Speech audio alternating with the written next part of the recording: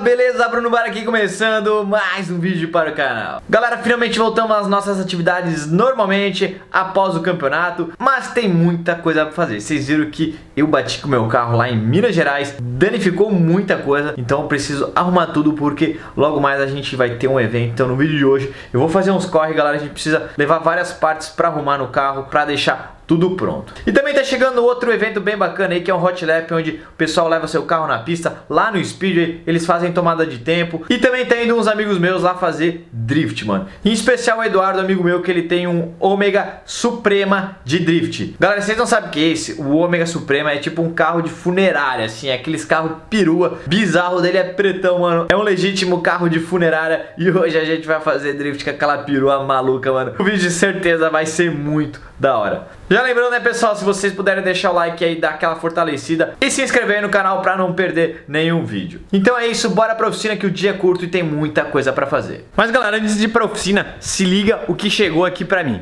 O Salão do Automóvel me mandou esse box super fã muito top. Vocês sabem que eu sou parceiro oficial do Salão do Automóveis, eu vou instalar dia 8 e eles me mandaram esse kit pra mostrar pra vocês. Eu não faço ideia o que tem aqui dentro, então vamos abrir junto.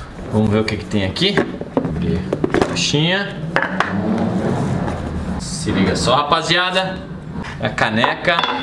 Salão do automóvel. Tem aqui um boné também. Ó, um cordão também veio. Super fã, acho que é uma credencial isso aqui. Eu não sei. Veio também um pendrive, mano. Isso aqui vai me ajudar pra caramba. Porque eu sempre preciso de pendrive e nunca tem, velho. Ó, veio os ingressos aqui, ó. Olha que top. Esse convite é meu, hein? Veio também um chaveirinho. Mano, quanta coisa, hein? Chaveirinho aqui do salão do automóvel. E também veio uma camiseta, eu acho que é uma camiseta, uma camiseta, vamos abrir aqui e mostrar pra vocês. Agora sim, ó, já estamos com o bonezinho, camiseta, credencial, é isso aí, já estamos prontos para curtir o Salão do Automóvel, que se inicia no dia 8 de novembro, mano. E que com certeza é uma das atrações mais esperadas por todo mundo, né? O Salão do Automóvel que acontece a cada dois anos, então com certeza é um evento que eu nunca perco, eu nunca deixo de ir. E esse ano eu vou estar lá no dia 8, então se vocês quiserem me encontrar por lá, mano, cola lá dia 8, no dia da abertura, que a gente com certeza vai se esbarrar por lá. É isso então, agora sim, vamos lá, bora pra oficina. Aí galera, o Zetinho já tá aqui na oficina do Scheninger, a gente já deixou ele aqui logo que eu cheguei de viagem. E mano, tadinho do Zeto, galera, o bicho tá sofrido, tá todo batido, judiado. E além disso, ele tá cheio de coisa dentro. O carrinho tá judiado, galera. Olha só. Arranhou tudo na batida. Amassou, velho. Putz, isso aqui vai ter que dar um talentinho. E a parte frontal não preciso nem dizer, né, mano? Tipo, a gente teve que tirar a peça aqui porque acabou com tudo. O farol trincou, quebrou, a gente vai ter que arrumar. Se liga Best Bar, mano. Entrou aqui pra dentro. Nossa senhora. Foi feia a coisa. Só que o principal é que aqui, ó, galera. A parte do carro estrutural não afetou. Foi só, tipo, esses ferrinhos aqui. Aqui também mas de resto tá tudo de boa. Mas o mais importante é que a gente precisa dar uma revisada em tudo que foi afetado na parte de suspensão do carro, porque a pancada foi feia. A coilover também a gente viu que deu uma entortada, então a gente vai precisar tirar para ver certinho se vai dar para arrumar, se vai ter que comprar uma nova. Então é isso, o trabalho agora vai ser de revisão. E outra coisa também que eu quero fazer no carro, pessoal, eu quero tirar uma cópia de todas as partes da suspensão. Tipo esse bracinho que quebrou, essa bandeja, eu vou tirar uma cópia, vou comprar parte sobressalente, para se um dia quebrar de novo, se eu bater de novo, eu ter todas essas partes e conseguir substituir substituir de forma rápida, né? Pra não precisar passar esse sufoco que eu passei lá em BH. Mano, eu botei a peça no lugar de volta, galera. Qual que é o problema? Eu não tô encontrando essa peça pra vender. Já procurei no ferro velho, não achei, galera. É uma parte que normalmente quando o carro bate, ela tá meia massa, então eu achei partes batida. E pra importar, como ela é uma peça muito grande, apesar de ela não ser pesada, ela é muito grande. Então o frete é muito caro e acaba não compensando. Então eu vou tentar arrumar ela, eu vou levar aqui numa funilaria muito top aqui da minha cidade e eles vão dar um jeito nessa peça. O ruim é que eu queria guardar ela, né? Eu queria botar essa parte de lembrança no meu carro lá na parede, mas é melhor eu arrumar e colocar no meu carro, deixar ele bonitinho do que ter essa peça na parede e ficar faltando, né, um buraco aqui no carro. Então, vamos pegar a peça e bora levar lá. Eita, nossa. O melhor de tudo que a oficina deles é do lado da nossa, tipo, somos vizinhos, então tipo, eu tô levando a pé aqui, ó. Aí é bom, né? Ó, já estamos chegando aqui na Perfecta Estética Automotiva. Mano, o bagulho aqui é top, hein? Se liga a estrutura dos caras. Filé, hein? Se liga a estufa de pinturas dele, galera. Mano do céu. O negócio aqui é chique, hein? Porque os caras têm um laboratório de tinta, velho. Não tem como errar o tom da cor agora, né? Olha só. Então, quero ver se vocês arrumar essa peça, hein? Que a batida foi feia, mano. Mas dá jeito, tem jeito de arrumar? fica tranquilo. Vamos tentar arrumar com qualidade pra não precisar trocar, né? É isso aí, então. Ó, o pessoal da Perfecta já desentortou a peça aqui, ó, já tá mais ou menos boa. Claro, tem que fazer o acabamento, a gente só colocou aqui pra ver se os encaixes estavam legal. A gente tem que recuperar o farol e aí é isso aí, o carro tá voltando a ser o que ele era antes. Essa barra aqui, pessoal, não tem mais jeito. Essa aqui eu vou ter que fazer uma nova. Porque ela entortou, ela já tinha estourado o sol daqui, aqui. Então a gente vai ter que fazer uma barra toda nova, porque essa aqui já era. Essa aqui é lixo. O ruim é que o suporte do farol entortou tudo aqui, mano. Nossa senhora. O Leandro tá demorando 5 minutos pra fazer uma coisa que ia demorar dois dias, mano. O rapaz tem talento, né?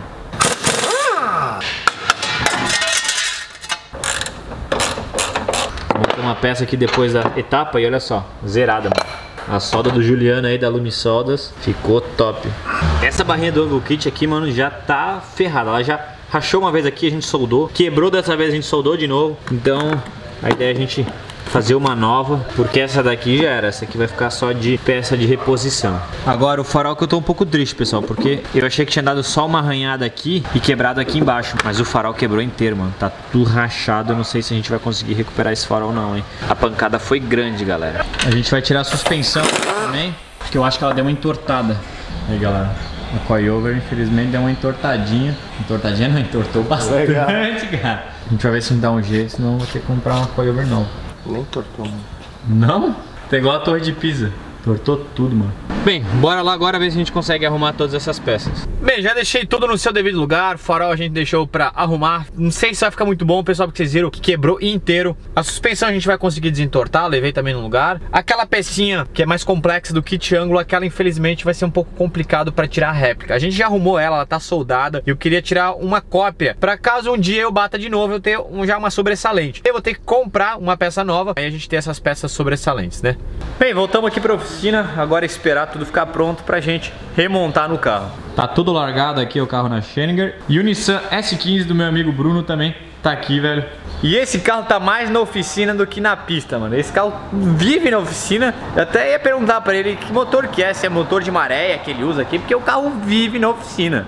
Ó, eu não tenho certeza, mas isso aqui parece ser intercooler de maré, hein? Eu tenho quase certeza que esse carro aqui tem motor de maré. E toda essa correria, pessoal, porque logo logo vai ter um evento muito top aqui na nossa cidade, o Drift Night SC, que eu juntamente com o Bruno e outros pilotos, né, o Márcio Cabeça JJ e o Marcelo, a gente tá organizando. Vai ser um evento muito da hora. Vai acontecer no dia 2 de novembro, numa sexta-feira, a partir das 19 horas, ou seja, vai ser um evento noturno. Todo mundo que for lá vai ter oportunidade de conhecer esses carros de perto, vai ter várias apresentações, batalhas, vai ser muito top. A galera inclusive vai poder ver os carros de perto, né? Olhar aí nos boxes e também, pessoal, a gente vai estar oferecendo carona radical. Obviamente a gente vai estar cobrando valor, porque vocês sabem, pneu é caro pra caramba, então não vai dar pra levar todo mundo de graça. A gente vai cobrar um precinho, mas vai ser só pra bancar os custos mesmo. A ideia é a galera poder curtir.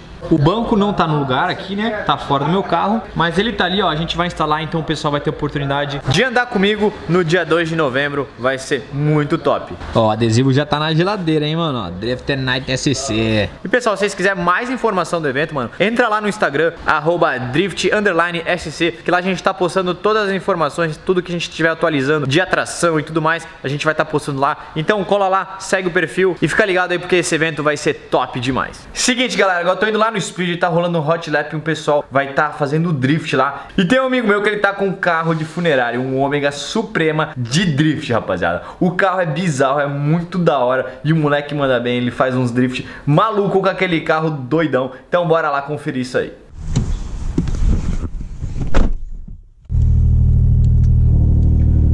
Legal, escapezinho barulhento, né?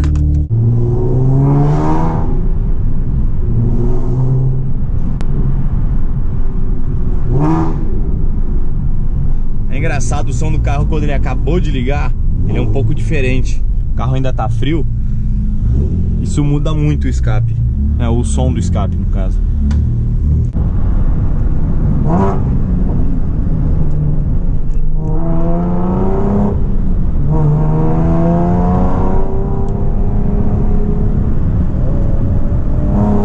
Ó, tem uma BMW enchida aí, rapaziada.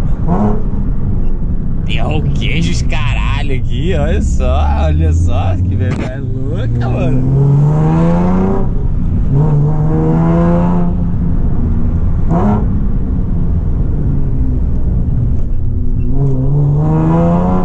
deve estar indo pro mesmo evento que eu. Até porque não deve ter muito evento na cidade nesse horário, né? Nesse dia. Ou só tá dando um rolezinho, mas achei muito da hora a BMW com, com os banquinhos Bride, mano.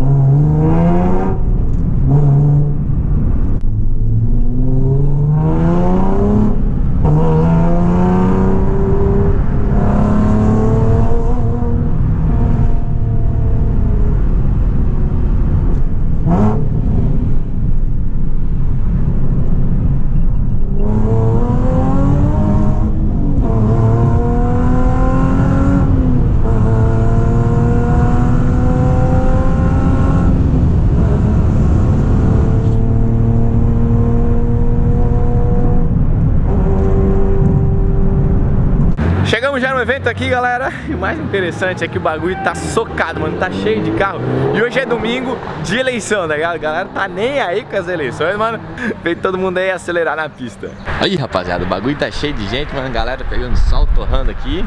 Uns Peugeot velho, uns cadete. O cofre desse cadete tá mais bonito que o do meu Z, hein? Tá louco. As BMzinha. Mas o bagulho que me interessa tá lá, rapaziada. O carro de drift da funerária, mano. Olha aí, rapaziada.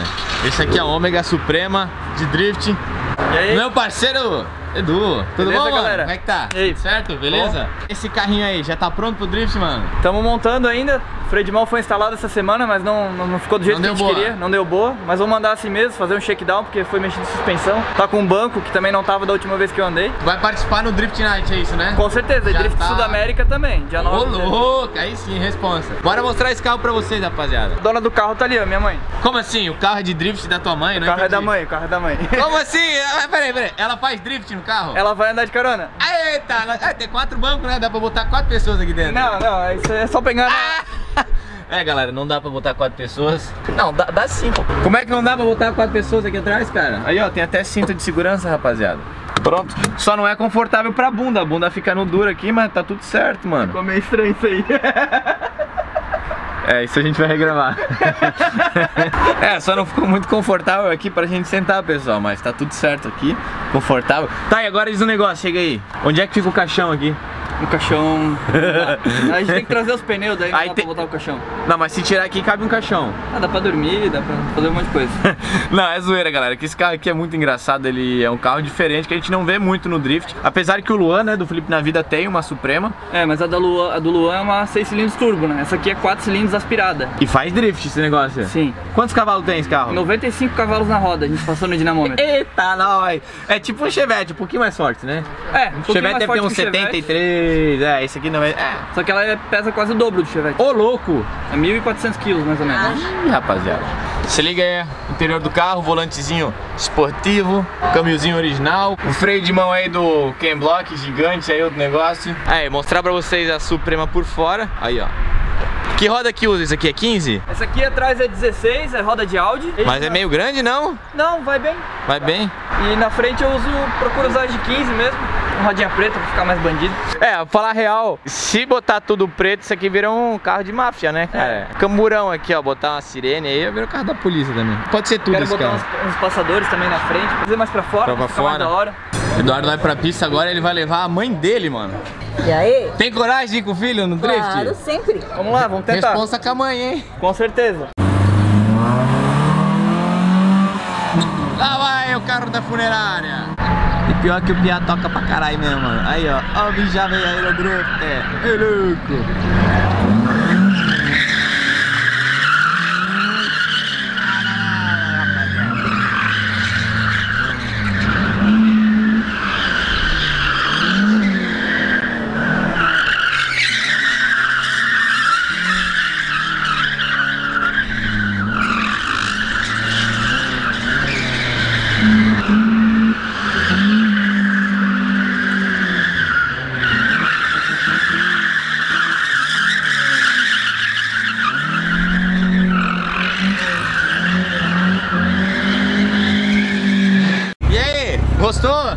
Muito bom. Deu umas, umas rodadinhas ali, foi meio perigoso, É, o né? freio de mão não tá ajudando, né? Ah. Tá, tá indo, tá indo. Tá, Vamos agora é minha vez, Bruno. hein? O cara de carona aí. Ô, tá muito legal esse capacete, hein? Tá bem do meu tamanho. Igual, é o tamanho certo pra minha cabeça. Que número que é esse capacete? Pô, isso é de criança, galera. Ô, não sei se eu botei o cinto, cara. Ô. Vai devagar aí, né?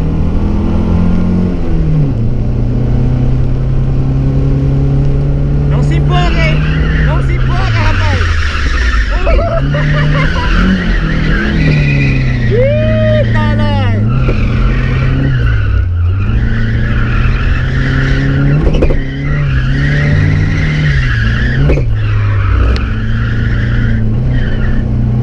Ê, Caralho!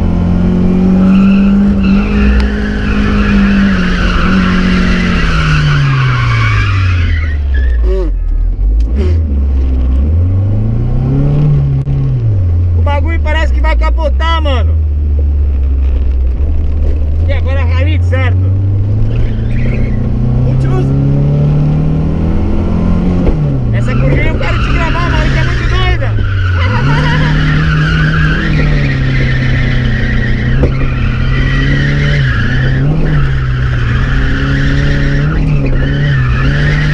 Agora acertou direitinho, hein? Não, não foi! O pneuzinho, o pneuzinho tá acabando já.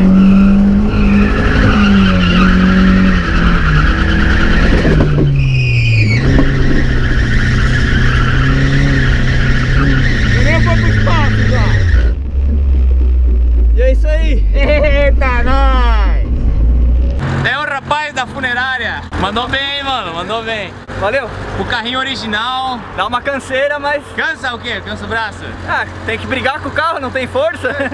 Tremedeira. Tá com medo, rapaz? Tá é, tá, tá balançando assim. é. É isso aí, galera. Eventozinho rolando. O pessoal tá fazendo os driftzinhos aí. O pessoal tá evoluindo e é assim que a galera começa. Não tem que ter vergonha, não tem que ter medo de vir andar. É botar o carro na pista, acelerar, mano. E é isso aí. A galera vai evoluindo, a galera vai aprendendo. Lembrando, né, pessoal? De dia 2 tem Drift Night SC, pessoal. O evento vai ser muito top, galera. É isso aí, rapaziada. Eu vou pra casa que vocês sabem que eu sou branquela. Eu já tô me queimando todo aqui, mano. Eu não passei protetor de novo, né, rapaziada? Então é isso aí. Se vocês curtiram o vídeo, galera, deixa o like aí. Muito importante incentivar a gente a continuar fazendo esses vídeos. E se vocês não são inscritos no canal, né, galera? Já se inscreve aí pra ficar ligado de tudo. É isso aí. Eu sou o Bruno Bar. Vou ficando por aqui. Valeu!